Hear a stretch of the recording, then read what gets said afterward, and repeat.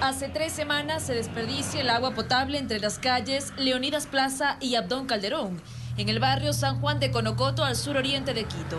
Una se gasta el agua, hay fugas ya sea en esta calle, hay por Ontaneda también, entonces y no arregla. Tengan un poquito más de interés para poder arreglar la, dar solución a este problema. Los vecinos se muestran preocupados porque explican que es recurrente en este punto el daño en la tubería matriz. Por ese motivo, la filtración de agua afecta a la vía y a las viviendas.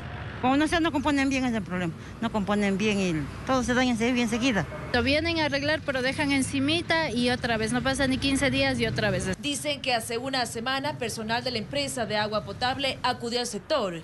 Sin embargo, no fue reparada la fuga. Aseguran que las tuberías están obsoletas. O sea, el mal mantenimiento que hace es el problema, ¿no? Porque si hubiera un buen mantenimiento no estuviéramos aquí como estamos.